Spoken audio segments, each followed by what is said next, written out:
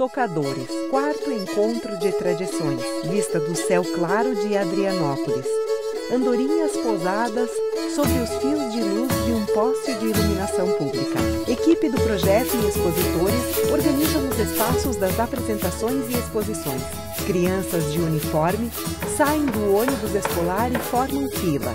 Se acomodam nas cadeiras à frente do palco. Lia Marque, direção geral e curadoria. Quando a gente foi começar o projeto do encontro e foi escolher o um nome, a gente sabia que a gente não queria chamar de festival. A gente pensou mesmo nessa, nessa longa caminhada com as comunidades tradicionais, fazendo livro, fazendo filme, é, o nosso encontro também com a educação e a gente falou, puxa, encontro, né? É uma questão das pessoas chegarem junto.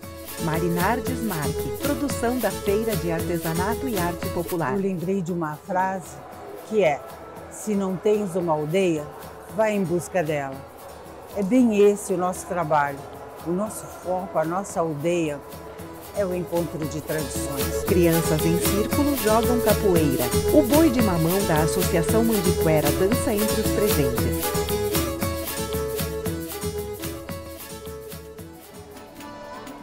Músicos tocam ao vivo na Feira de Artesanato e Arte Popular. Feira do Encontro é uma feira muito diferenciada, porque é uma feira subsidiada. As comunidades vêm e tudo que elas vendem ficam com elas, elas recebem uma ajuda de custo para o deslocamento até a cidade do evento, a hospedagem, a alimentação, a infraestrutura, justamente porque a gente quer fomentar essa produção muito especial que fica ali entre o artesanato e a arte popular. Mário Jacinto Júnior, artesão do território indígena Floresta Sagrada de, de Piraquara, povo, Paraná. Né? De cada comunidade, ela precisa realmente ser ouvida porque elas trazem uma mensagem. Elas não é só estáticas, elas atravessam gerações e gerações. Fátima de Oliveira, professora. E o que, que você vai falar para os alunos que eles podem esperar aqui do encontro?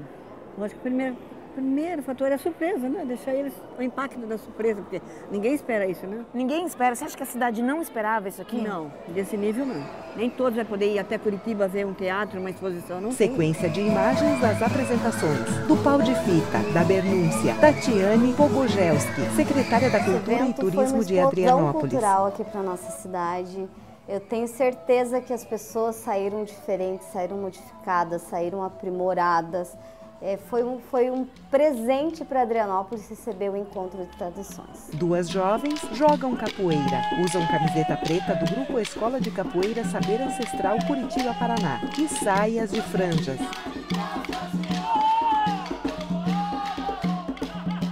Chegar no quarto encontro de tradições e vir numa cidade que tem inúmeras comunidades quilombolas, que tem muitas riquezas e que nem sempre as pessoas daqui estão conseguindo ver essas riquezas, é uma satisfação. Na feira, Irani Matos Pereira serve porções de doce de mamão. Gostou?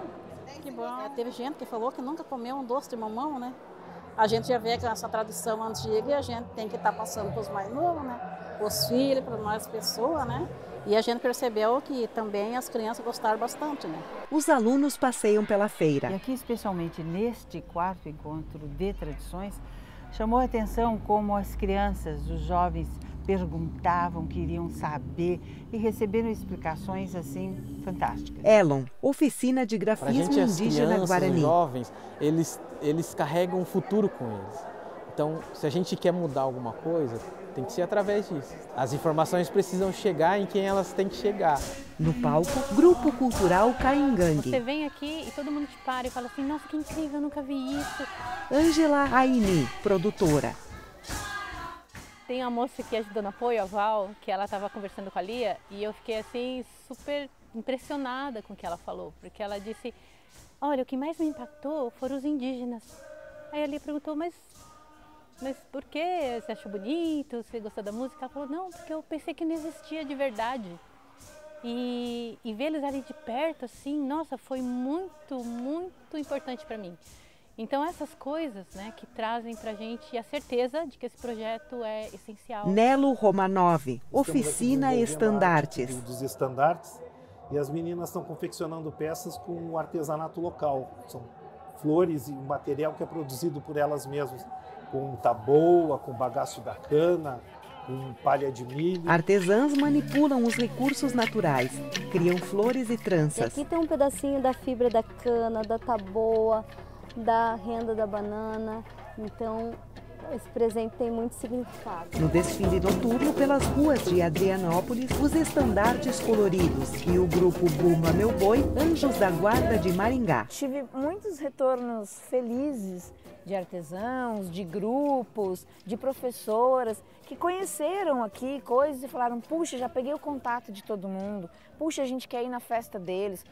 Isso é que é o encontro. O encontro é um primeiro momento, um momento forte, intenso, de imersão, de muita coisa diferente para ver num dia só, que a pessoa fica até, ai meu Deus, o que, que eu faço? Aí as pessoas vão fazer, elas vão buscar sozinhas. E a gente concluiu mais um encontro de tradições. É quase inacreditável. Lia e Stein, produtor executivo. chegar até aqui. Muita coisa. Muita correria, mais uma equipe muito eficiente e aí tudo acontece.